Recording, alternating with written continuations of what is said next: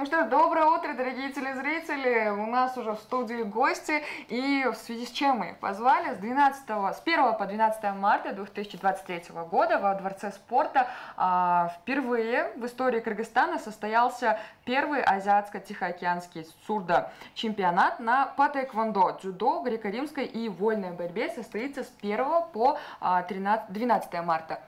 Мы рады приветствовать в нашей студии а, заслуженного тренера по тэквондо Дмитрия Пономарева и Акопян Арама. Здравствуйте. Доброе утро. Доброе утро. А, расскажите, пожалуйста, о чемпионате, как он вообще пройдет, а как так получилось, что он впервые у нас проходит? А, чемпионат э, Азии среди сурдоспортсменов мы проводим действительно впервые. Так получилось, что наша страна подала заявку на участие, на проведение этого мероприятия. Угу.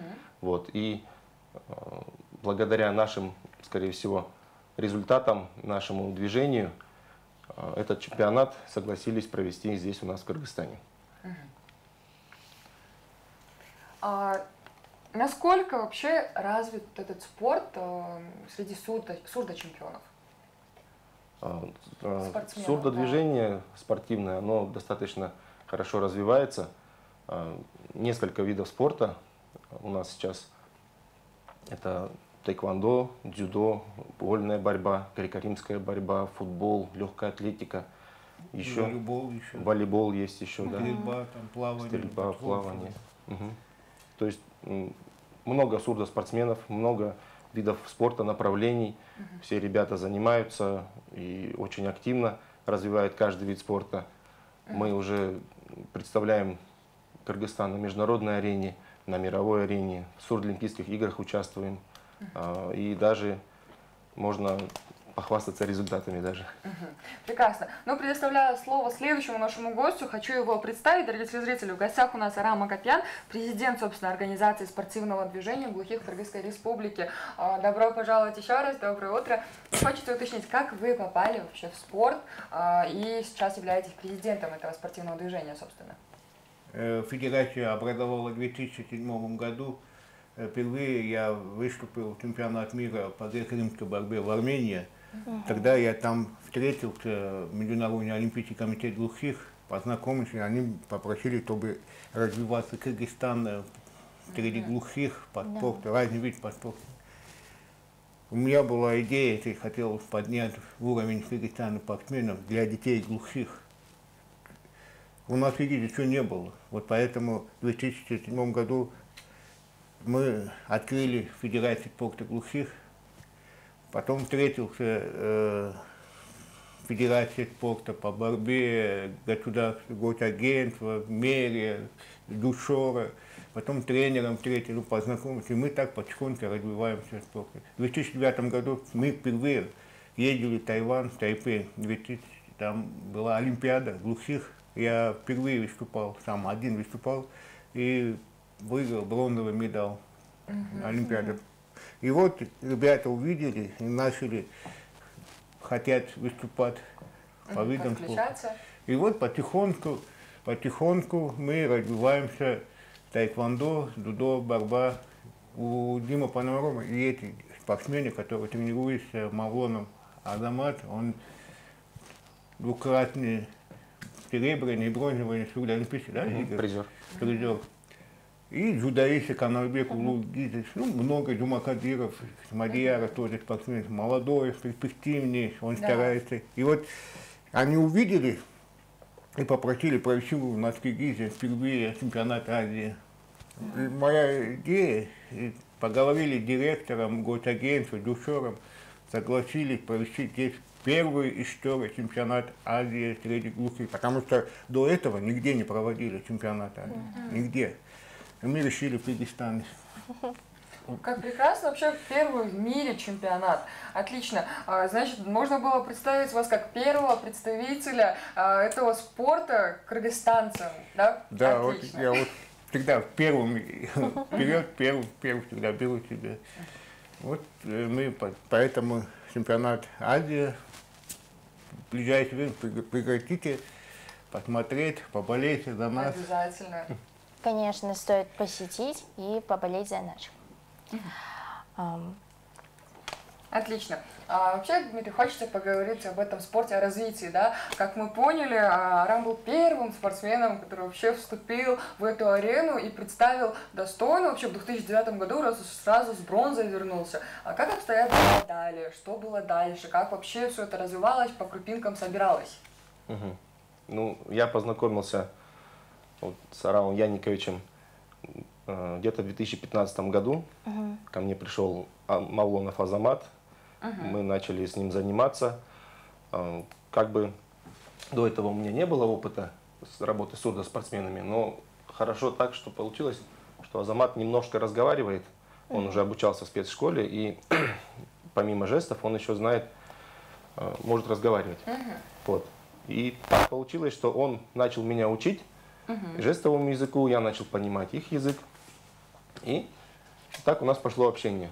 Причем Азамат он начал э, довольно упорно заниматься, оставался после тренировок, каждый день занимался, проявлял э, такое рвение к спорту. Отлично. И поэтому у нас за два с половиной года мы смогли выехать на первые Сурдлимпийские игры угу. с ним.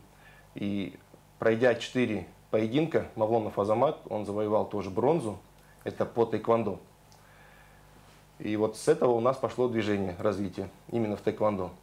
Угу. Ну, скорее всего, борьба и дзюдо, там, может быть, еще были результаты раньше, чуть чем... раньше даже, да. Угу. Это очень полезно и прекрасно то, что вы делаете. А вот поделитесь с нашими телезрителями, в чем успех вашей такой работы, коммуникации с детьми?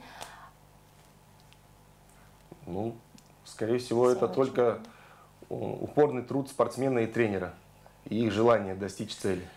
Желание, самое главное, желание, потому угу. что Э, у нас же мало людей этих. Конечно. Они тоже хотят, чтобы наравне олимпийские, да. вот, поэтому ребята тоже приходят очень много, uh тренируются. Мы стараемся поднять Кыргызстан перспектив труда, Олимпийский комитет Кыргызстана. uh Прекрасно.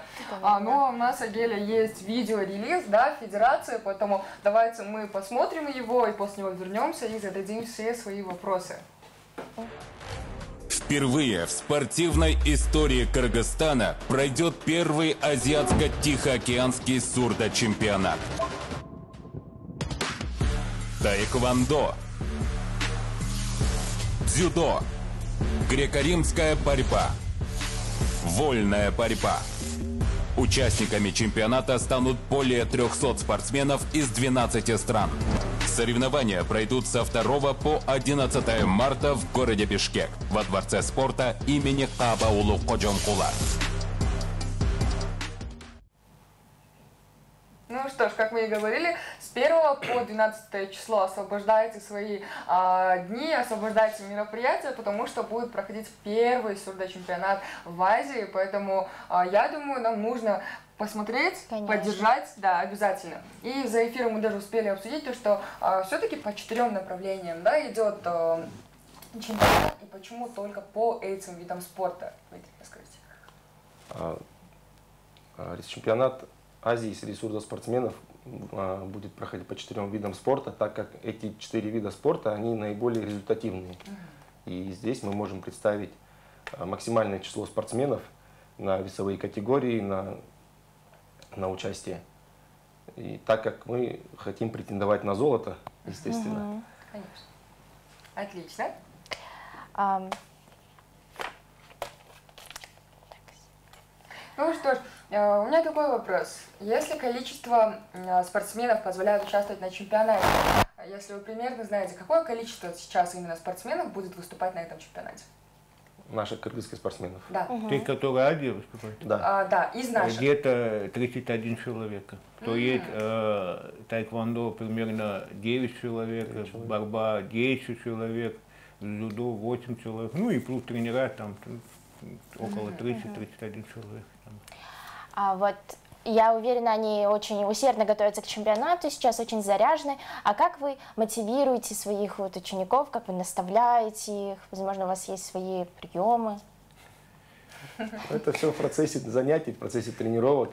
Они тяжело тренироваться. Конечно. Им надо много раз объяснять э, голову, то потому что они же дол- ну, вообще глухие не слышат.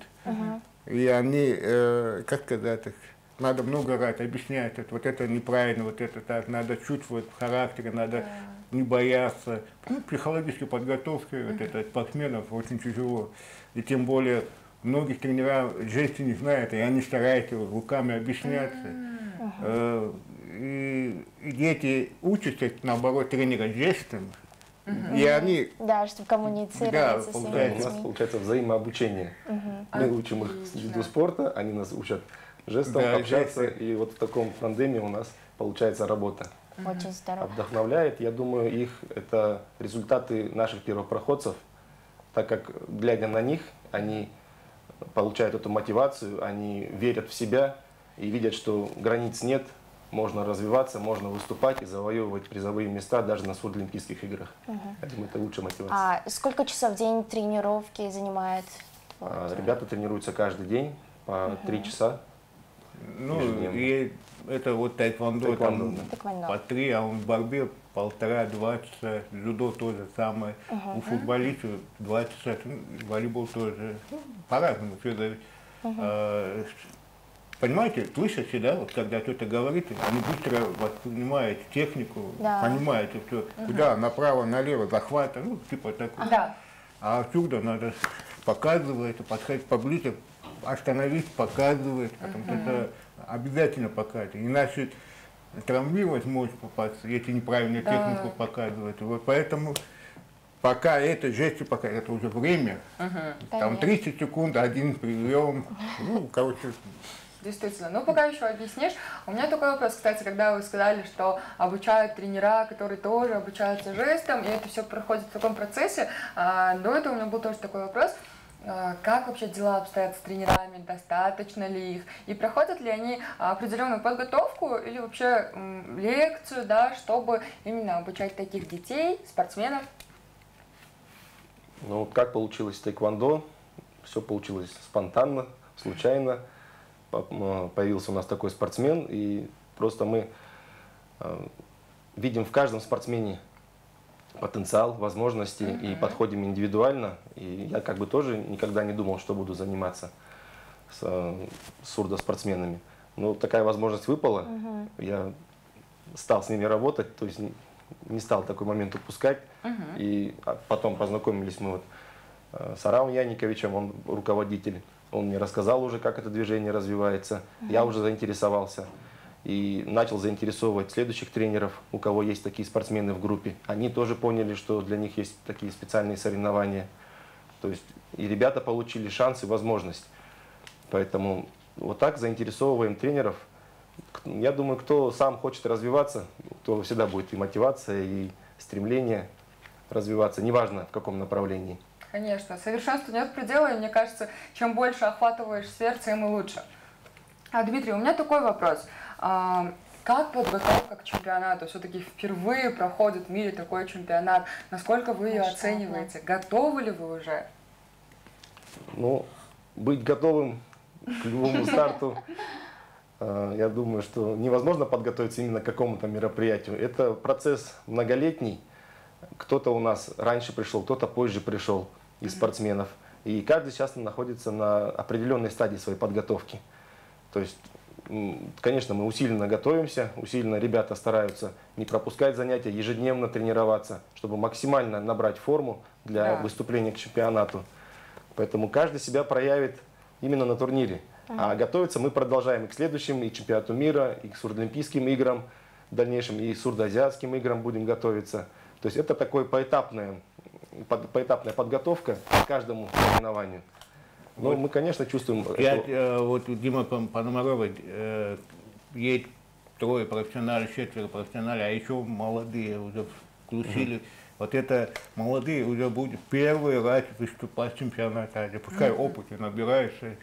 Ну, они стараться будут выиграть, потому что недавно эти двое девчонки выиграли первое место э, турнир, да? Да. В Узбекистане, международный турнир. Вот позавчера а, турнир открытый, выступали М, Три- Первым, да, Да. оба. Первые, Молодцы, вторые вот. места занимают ребята. Посмотрим дальше, э, как будет.